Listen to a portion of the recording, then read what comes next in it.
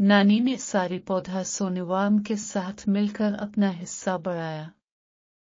Natural star नानी को टॉलीवुड का सबसे काबिल अदाकार करार देने पर किसी भी तबके की जानिब से कोई एतराज़ नहीं होगा क्योंकि वो बॉक्स ऑफ़िस पर ऐसा काबिल रश्क रिकॉर्ड रखते हैं जो मौजूदा नस्ल में किसी और ने नहीं किया। उनके प्रोड्यूसर आमतौर पर उनके मज़बूत थिएटर मार्केट और डिजिटल कारोबार की वजह से काफ़ी मुनाफा के साथ चले जाते हैं।